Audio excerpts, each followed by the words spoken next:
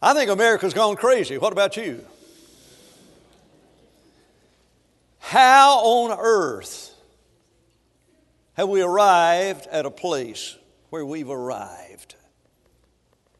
When you heard the news, uh, was it Thursday or Friday that you heard that news about what happened in Connecticut?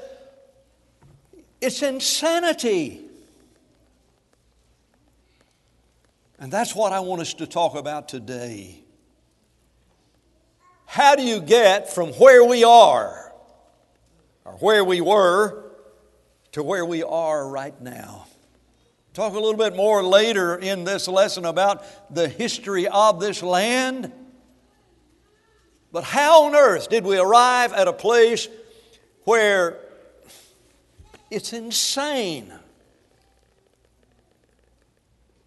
Uh, years ago, folks didn't have much education, but they had morality and compassion and care and understood this world.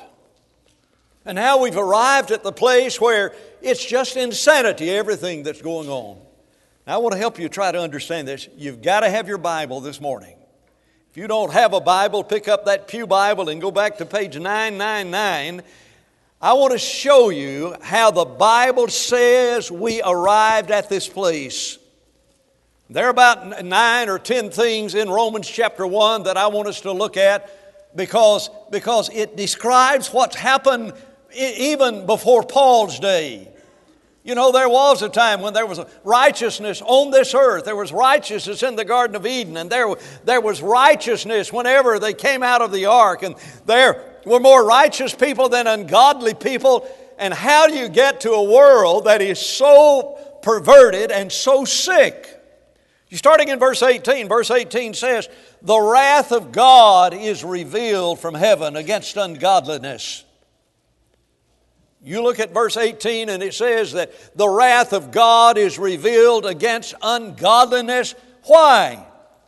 Well, because verse 20 there was a time when that world described in Genesis chapter 1, or pardon me, Romans chapter 1, there was a time when they knew God. I want to ask you something.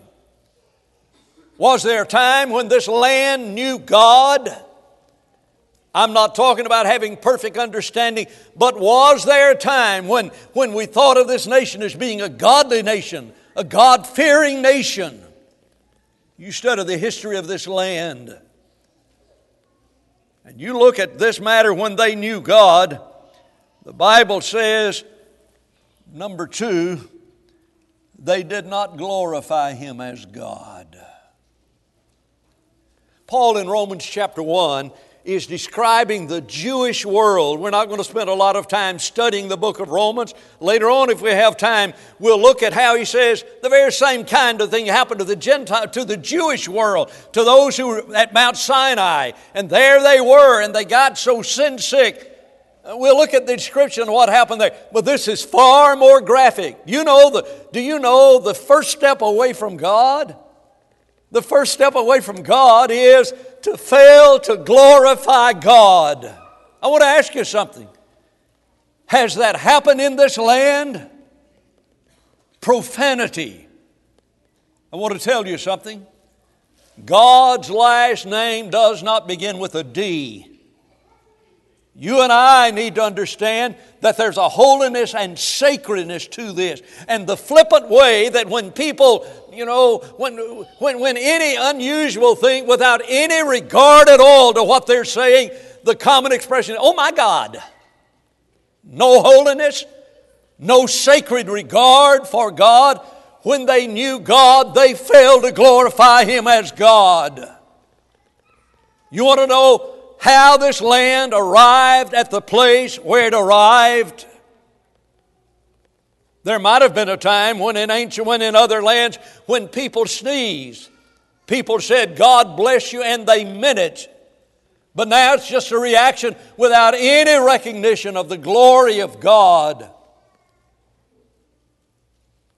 You stop and think about the road away from God comes whenever they do not glorify Him as God. Number three, they're not thankful. Paul says, when they knew God, they started down a path that was leading them away from God, and that is the inability to be thankful. There was a time when thanks was given on Thanksgiving. But now we think of Thanksgiving and wonder is it uh, Dallas or Washington that's going to win that day? Have I got the right teams? Thanksgiving. And so here were people knowing there was a God, failing to glorify Him as God, and turning so they're not thankful. In everything, give thanks. A prayer and supplication, let your requests be made known unto God. I've told this story and I don't hesitate to say it, tell it again, because I think it illustrates exactly what's happened in America. The old country bumpkin went into the city some time ago and went into a restaurant and he started eating. And the sophisticated ones at that restaurant looked at him because before he ate, he bowed his head and prayed. And the sophisticated one says, does everybody do that where you come from? And his answer was, Everybody except the hogs.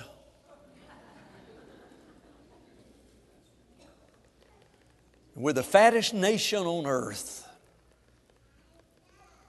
without any regard for the fact that in Him we live and move and have our very being. You throw a slice of meat among a pack of dogs, and you put Christmas dinner or Thanksgiving dinner before a family, and there's no difference at all in America. What happens? Animalistic.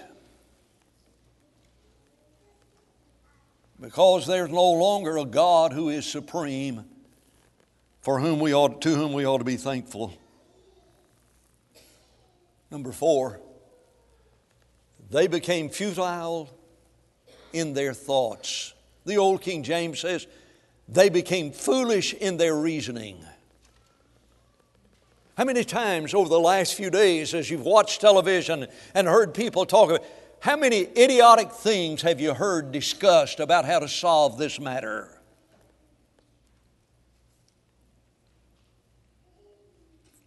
Folks, this matter is not going to be settled in America by people going to psychologists. It's not going to be settled in America by greater education. It's not going to be settled in America by human wisdom at all. And you think about how stupid our world has become. If we found life on Mars, imagine how this world would just explode with preservation of the life found there. And yet, nearly 40 million times our nation has approved legally, legally, the abortion of life far greater than some life, primitive life they might find in a distant world life that is vibrant, life that develops, life that grows, life that has a soul, and to snuff out the life of that soul inside the womb.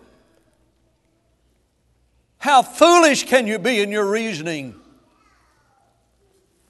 that a fertilized egg buried in the sand on the beach is worth at least $10,000? And a fertilized egg in the womb is a non entity.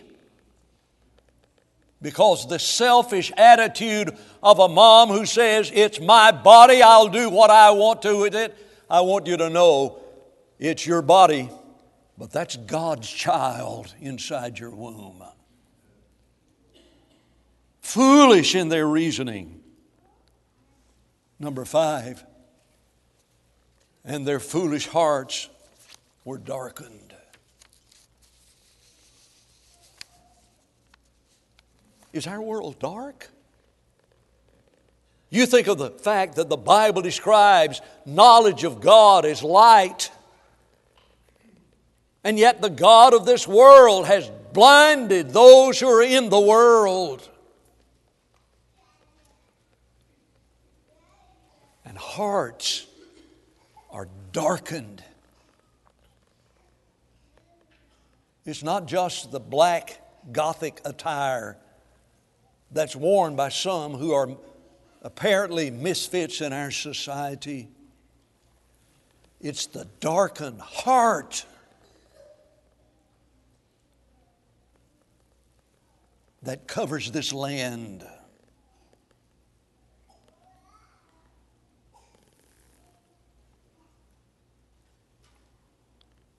Number six, professing themselves to be wise, they became fools.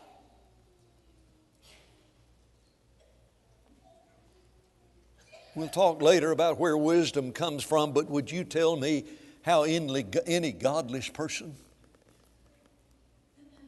has wisdom if the fear of the Lord is where it all begins? And we live in a nation that knows God but does not glorify Him as God and has no fear of God, can you tell me how there's any worldly wisdom to be found out there? Stop and think about it. We have elevated things and say therein is found wisdom. Some Hollywood movie star who has grown up in a home that is a misfit home so many of the times and has gained some notoriety in, in cinematography, having some knowledge about what this nation needs politically. There's darkness. In this land.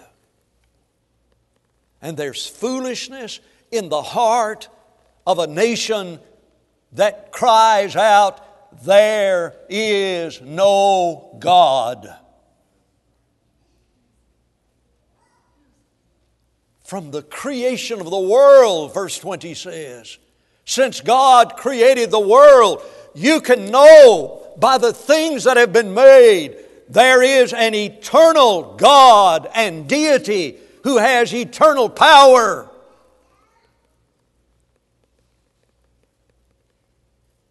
I believe it was 40 years ago, this very day, that the astronaut, I believe his last name is Cernan, is that right? The last one to stand on the moon. And he said about standing there, beholding the earth from the moon, there's no doubt there is a creator.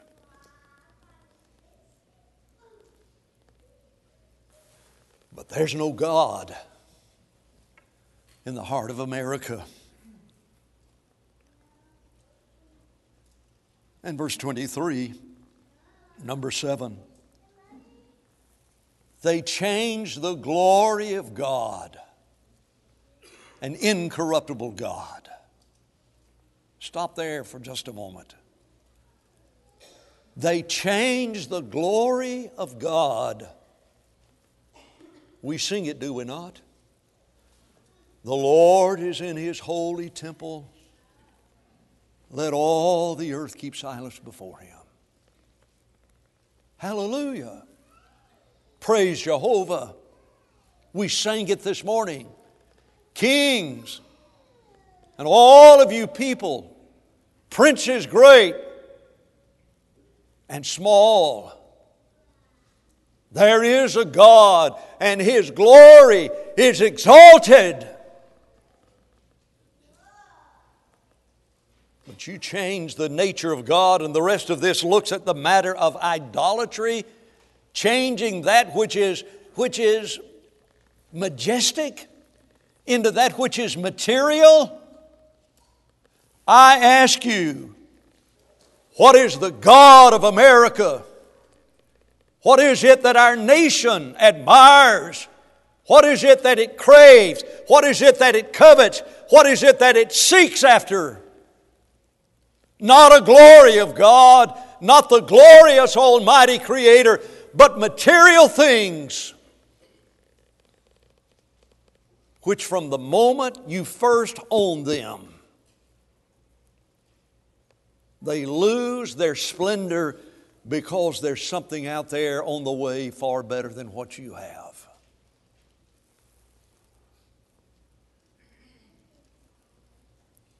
Look at verse 24, and we'll come back to that in just a minute. God gave them up. Look at verse 25, number 8. They exchanged the truth of God for the lie.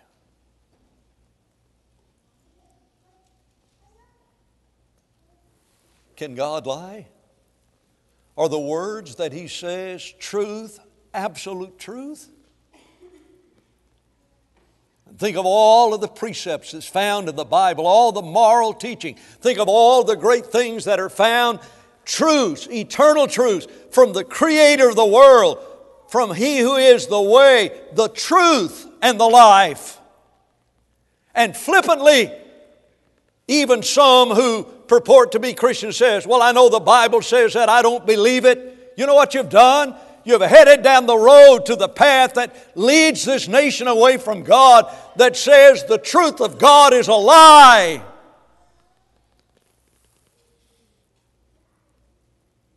And number nine, they worshiped and served the creature. The old King James says, the creation more than the creature. The Creator who is blessed forevermore. Amen. So be it. Worship and serve the creature. How self centered have we become as a nation? And our service has so little to do with I'm here for the express purpose of glorifying my Creator and exchange that for I will choose if I, I glorify Him, and I will choose when I glorify Him, and it is an optional thing, and I am in charge of my life. Don't you try to tell me how, how and when God ought to be glorified. The creature, self centered society,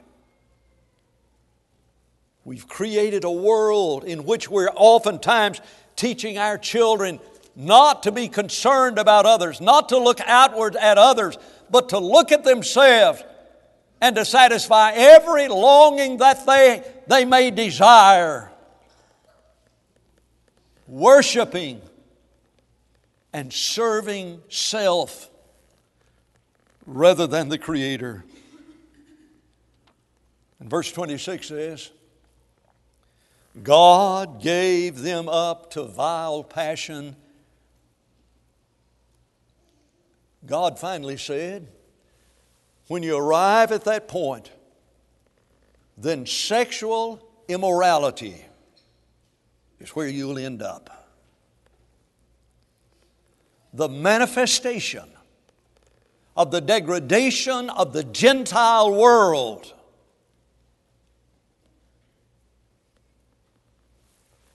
was sexual perversion. Is America perverted? You look at the rest of that verse and the verses that follow, and there you see where America is. And the verse says, God gave them up. You see that? Verse 28 God gave them over. God gave up on them when they gave up on God.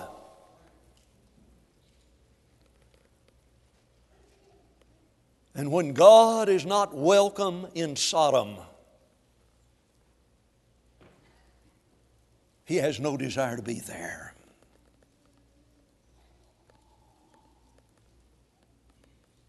And not just homosexuality, but fidelity in marriage.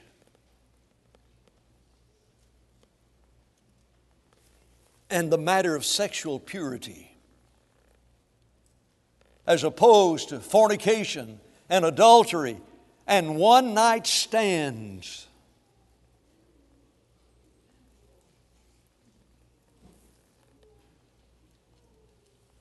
Who's the quarterback for Kansas State or Kansas?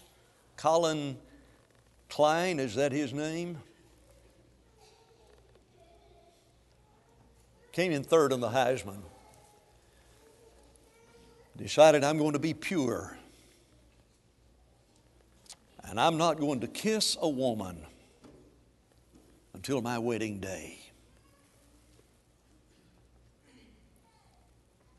How foreign does that stand in your view of America? How odd is the purity of the lives of a Tim Tebow mocked? And the world awaits for him to make a mistake. How perverted is our land? When the Gentiles arrived this point, God said, I give up on you because you've given up on me. Righteousness exalts a nation, but sin is a reproach unto any people. Look at that next slide. Look at all, the next one, please. Look at all of the things. Which one of those is not America today?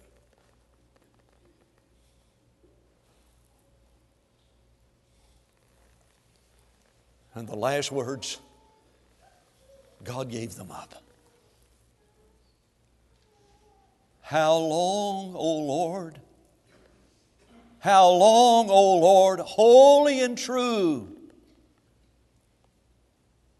dost thou not avenge this nation for its wickedness? What's happened to America? Three things. America has lost its compass. Get in a boat and go out here into the Gulf Stream. Get away from the side of land. And let's see you find it. Let's see you find the harbor again without a sense of direction be flying in a plane. And let all the electronics that are there in the midst of the darkness of night, traveling across the ocean, find your way to the port of safety. You look at the history of this nation and where we are. But I want you to know there is a moral standard. There is a compass. And it is an absolute moral standard. Would you underline in your heart and in your mind? It's absolute. God cannot lie. You want to see where America is? whenever the Bible is, when it's not welcomed in the school, when the time is on the horizon that even the church itself will be, will be punished in this land for teaching the truth about morality and godliness. To read what the Bible says about homosexuality is not a hate crime, it is a love message from God of absolute truth. And to honor the purity of the Bible and the life that's found in the Bible, to honor that is not perversion, it's truth. And it's absolute. I want you to listen to the absolute nature of what I'm about to say, and don't you ever forget it. Absolute. It's always, that's absolute. It's always right to do right. And it's always, that's absolute. It's always wrong to do wrong. It's never, that's absolute. It's never right to do wrong and it's never, that's absolute. And it's never wrong to do right. And that's absolutely right. Because the Bible is absolutely right. You got away from your compass You'll arrive where they were in, described in the book of Judges in two places. Chapter 21 is the one we'll put on the screen that says, The children of Israel departed from, from there. Uh, at that time, every man to his tribe, to his family. They went out there, every man to his inheritance. In those days, there was no king in Israel. Every man did that which is right in his own eyes. If that's not a description of America, I know not what it is. You try to verbalize in the workplace absolute nature of the truth of God, and you will be mocked. Why? Because America's gone insane, and the world that is around us is bought into it. Well, that may be your truth. That's not what I believe about it. And every man does that which is right in his own eyes. The second thing America has lost is its conscience. A conscience of morality. That whenever I have done wrong, that which I have taught myself is wrong begins to nag at my brain and begins to punch at my soul and to pierce my heart, saying, You've got to change. You've got to change. You're not, what you're doing is not right. You've got to change. Understand, the conscience is something that's educated. It's not inherent within us. It is not in man that walketh to direct his own step. But by imbibing and drinking of the truths of God and growing up in a nation where sometimes there is morality to be found, or growing up in a home where there is some morality, we have a conscience. And the old Chinese proverb depicts the conscience as a triangle that rubs its points against the soul every time you do wrong. And it begins to whirl, and the points of the triangle hit against the soul. I've done wrong, I've done wrong, I've done wrong. You know what happens in the proverb? The points wear off. And we've lost our moral conscience. We have lost the ability to blush. There's no shame anymore for what one does. Jeremiah chapter 6, the prophet Jeremiah describes Israel. Were they ashamed when they committed these abominations? No, they brag about it. Let me tell you how drunk I got. Let me tell you about the party I went to. Let me tell you what happened at the club last Saturday night. Let me tell you. No shame at all. They were not at all ashamed, nor did they know how to blush.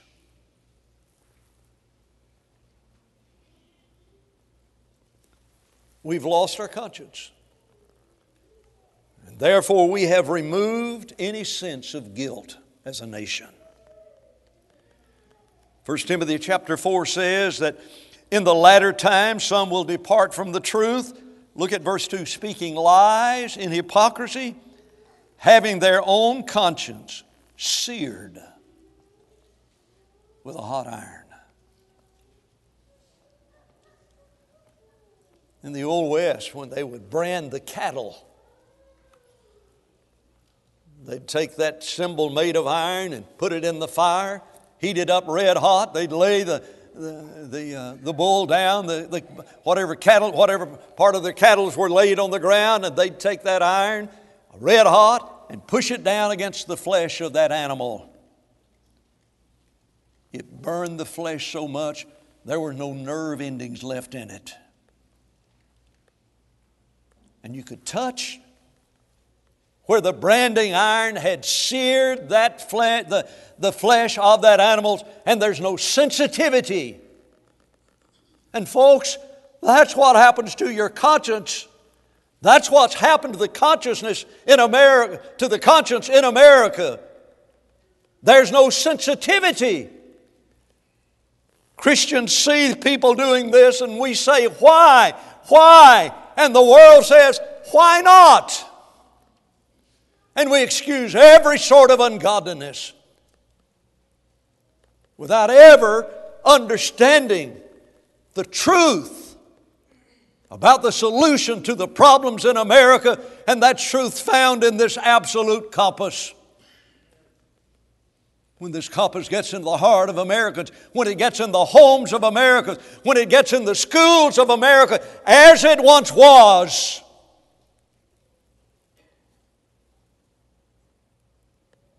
The thing on Facebook said, Why didn't God do something about what was happening in the school? And the retort from God was, I would have been there, but I'm not allowed in the school anymore. And school administrators, school administrators, and boards of educations, and judges in our land and those who mock the principle that we are endowed by a creator, which we once believed as a nation, will answer to God for the removal of God from our society.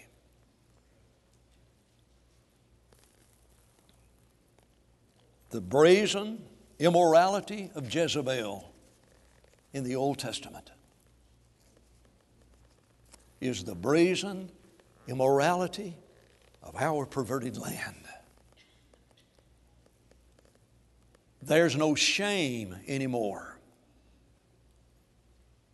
for evil action. And when you lose your conscience, you developed an animalistic attitude that demands immediate satisfaction. You get rid of your conscience, and there's no difference from you than a wild beast who lives in his world Whatever is there, he wants and he takes it for himself. He has no conscience survival of the fittest. Hello? Isn't that a foundational principle of evolution? Embedded in the hearts of those who want to remove God from our society says society is better because of the survival of the fittest. And the most animalistic, the strongest, the most cunning is the greatest in our society.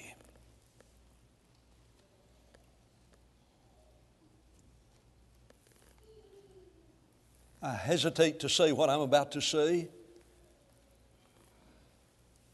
but we've arrived at a society that reacts to the world around it like dogs react to a female dog in heat.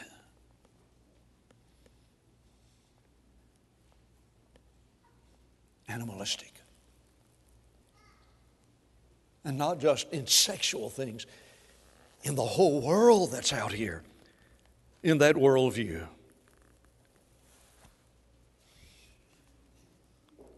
We've lost, number three, any view of morality or immorality having consequences. You know Proverbs 1 7 and Proverbs 9 10. Can you finish the verse that says, The fear of the Lord is the beginning of two things?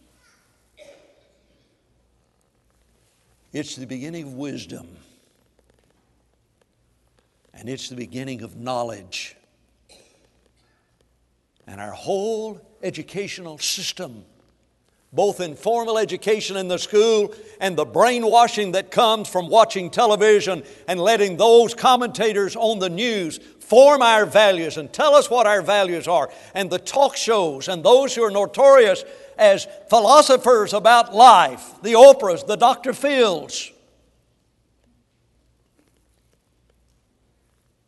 If they don't begin with this foundation, the fear of God is the beginning place of all knowledge. There is no knowledge that can be trusted that does not have as a part of it the fear of God. And there is no wisdom that can serve in any guidance at all that does not begin with the fear of God. There are no consequences to wrong anymore in America? You know Ecclesiastes chapter 8 and verse 11? See if this doesn't describe America. Because the sentence against an evil work is not executed speedily, therefore the heart of the sons of men is fully set to do evil.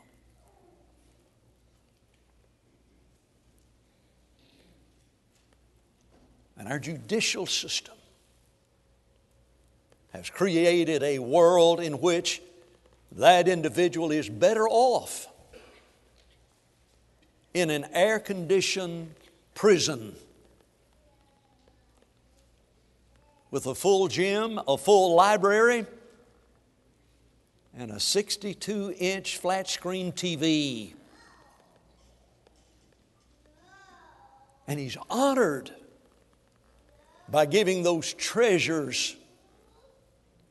And when he gets out, so many times he wants to go back in. And how many individuals have been under life sentence, or pardon me, death sentence, for 15 years? There's wisdom from God. Here's the truth there's evil in this world. I know you know that, but America doesn't. America thinks the problem in, the in America is poverty. If we can just get more money, get more money, money, we'll solve all of this. If we can give more education, it's going to solve it all. You will get somebody talking to somebody uh, lying on a psychologist's couch who doesn't even believe in God. That'll solve it every bit. Folks, the problem in America is sin. And the evil and, the, and that which plagues our nation is an absolute direct result of sin. There is evil.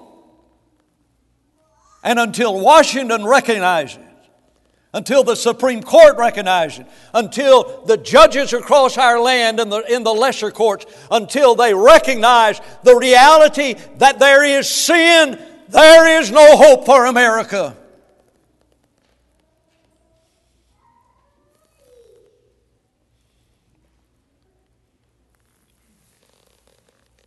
I close by reading the description of the Jewish world who stood at Mount Sinai, who, when they knew God, glorified Him not as God, became foolish in their reasoning. Here are different words. Does this sound like America? Romans 3, verse 10. There's no righteous, none righteous. No, not one. There's none who understands. There's none who seeks after God. They've all turned aside. They've together become unprofitable. There's none who do, does good, no, not one.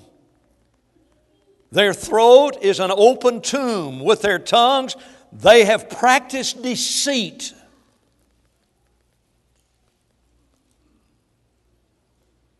How many politicians do you trust?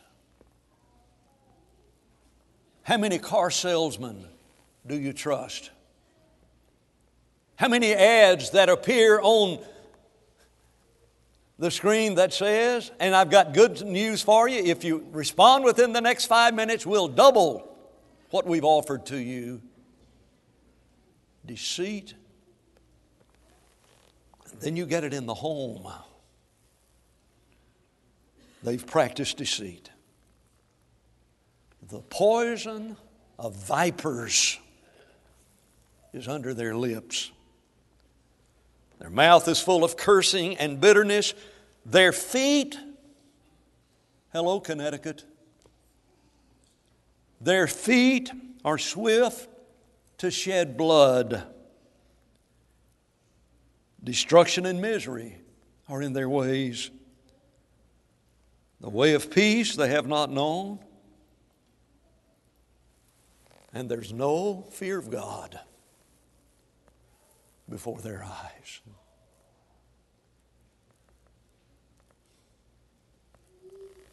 The Bible describes Lot as being righteous and of his soul being vexed as he lived in that city and saw the immorality that was there. My soul and your soul is vexed. What on earth has happened to America? Listen, the only hope for Sodom was the righteousness of Lot and his family.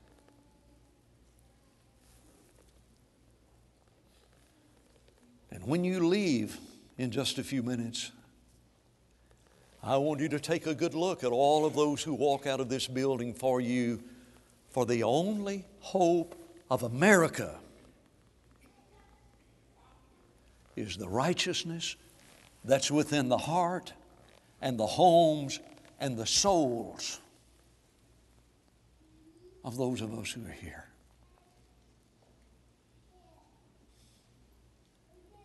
There's hope for America, but it's not found in education and money and political astuteness.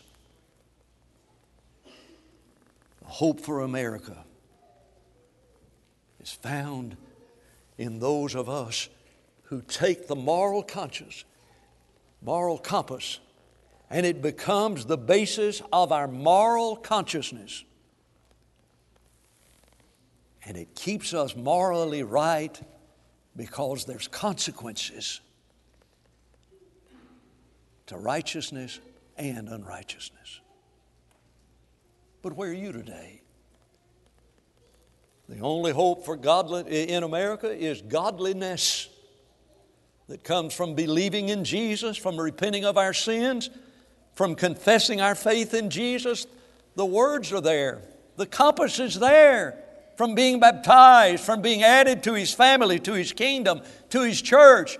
That's truth. It cannot be wrong. It's the moral consciousness of, it's the moral compass of God that says, You do this and you be faithful unto death, and I will give you the crown of life. How can this church help you go to heaven? Won't you let it be known by coming to the front right now? As together we stand and sing. Will you come?